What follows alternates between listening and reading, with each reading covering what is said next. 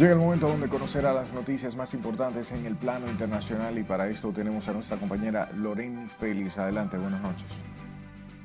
Gracias, muy buenas noches. Y a propósito del sismo que ocurrió el viernes en Marruecos, continúa este lunes la operación contra el reloj para encontrar sobrevivientes. Los equipos de rescate marroquíes apoyados por refuerzos extranjeros continúan en la búsqueda con la esperanza de poder encontrar más personas con vida. Veamos. Este lunes los equipos de rescate marroquíes, apoyados de refuerzos extranjeros, redoblaban los esfuerzos para encontrar supervivientes y asistir a los cientos de personas cuyas casas quedaron arrasadas. El sismo, el más grave en el país en más de seis décadas, devastó este viernes por la noche pueblos enteros en la región suroeste de Marrakech. Además de las pérdidas humanas y materiales, el sismo afectó parte del rico patrimonio arquitectónico de Marrakech, principal destino turístico de Marruecos. El líder de Corea del Norte hará una visita oficial a Rusia en los próximos días. Kim rara vez sale de su país y no ha viajado desde la pandemia del coronavirus. Así lo anunciaron el lunes ambos países, tras un día de especulaciones sobre una posible reunión entre Kim Jong-un y el presidente ruso Vladimir Putin para discutir un acuerdo armamentístico. Estados Unidos consideró este lunes que el encuentro que van a mantener en Rusia Vladimir Putin y el líder de Corea del Norte, Kim Jong-un, puede interpretarse como que el mandatario ruso está suplicando ayuda a su homólogo. Lo interpretamos como que está suplicando ayuda, indicó en una conferencia de prensa el portavoz del Departamento de Estado estadounidense, Matthew Miller. El presidente de Brasil, Luis Ignacio Lula da Silva, dio marcha atrás en su compromiso de no arrestar a su par ruso, Vladimir Putin, si participa en la próxima cumbre del G20 en Río de Janeiro.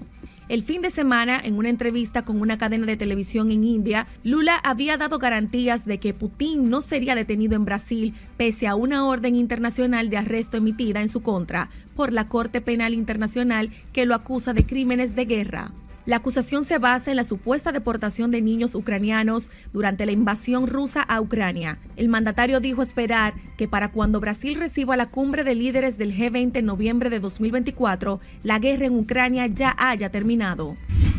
El expresidente brasileño fue ingresado la tarde de este lunes en el hospital Vila Nova Star de Sao Paulo, relacionadas con el ataque con cuchillo que sufrió durante un acto de campaña en 2018 y que le provocó secuelas en el aparato digestivo. En los últimos años, el ultraderechista de 68 años ha pasado por varias cirugías y otras intervenciones en la región abdominal.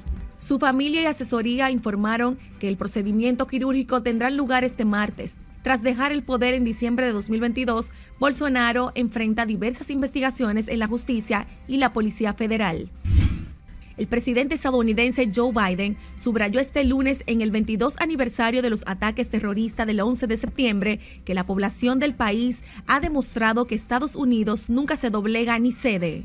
La determinación de la población estadounidense ha demostrado que nunca cedemos, nunca nos doblegamos, dijo desde Alaska, donde el mandatario demócrata hizo escala tras haber participado en la cumbre del G20 en India y tras haber ido posteriormente a Vietnam.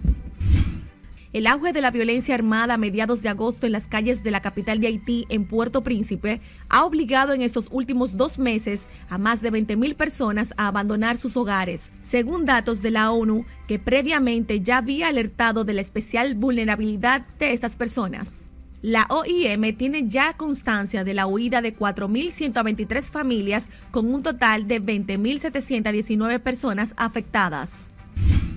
Una rotura en dos depósitos de vino de la destilería Levira provocó el pasado domingo una inundación con esta bebida en las calles de la localidad homónima al noroeste del país. La empresa ya se ha responsabilizado por los daños que ya ha podido causar a los residentes, mientras que el ayuntamiento aseguró que la rápida respuesta de los bomberos voluntarios de Anadia logró evitar que el vino llegara al río, lo que hubiese provocado un desastre medioambiental.